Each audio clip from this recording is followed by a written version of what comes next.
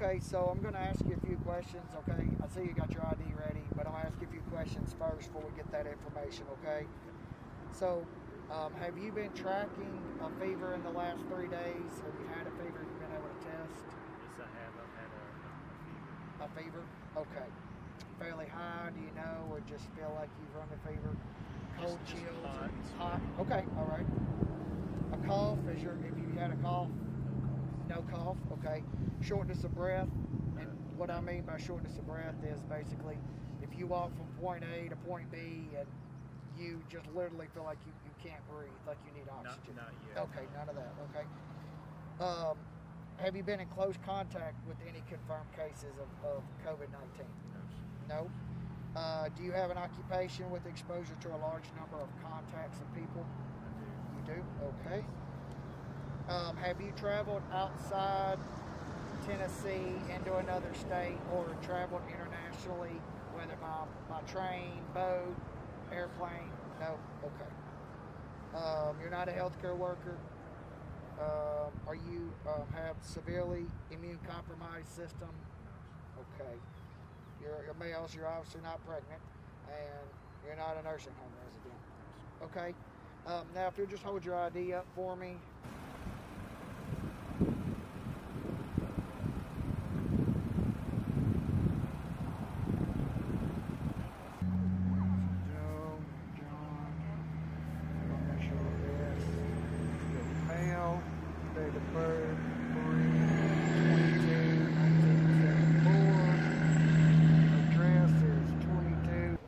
Have an alternate phone number, or is that the only one you have? That's the only phone I have. Okay. Email? Do you have an Uh, email? No email? Okay. Uh,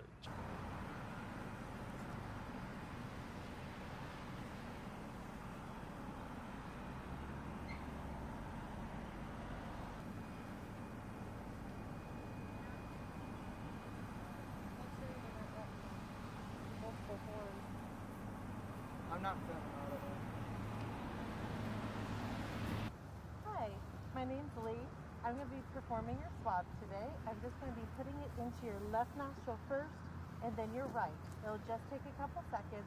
It is uncomfortable. If you just want to lay your head back and relax, I'm going to put my hand on your forehead. I'm going to go in your left nostril first, then your right, okay?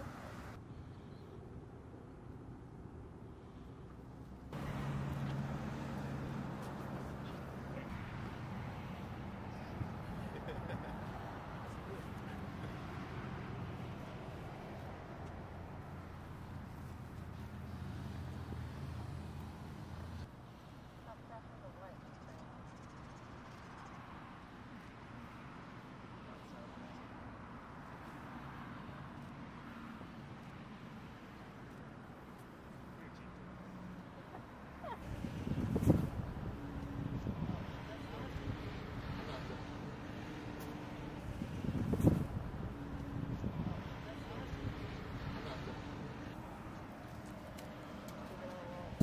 Seven bucks.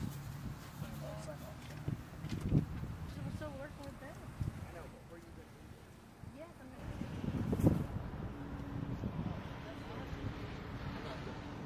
come in. Yeah, I mean, you're not, um, like it's all, I guess. Just trying to.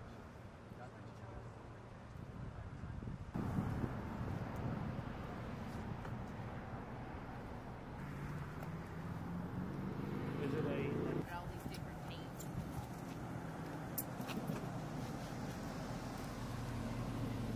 We just, we just got one being tested, just the passenger side.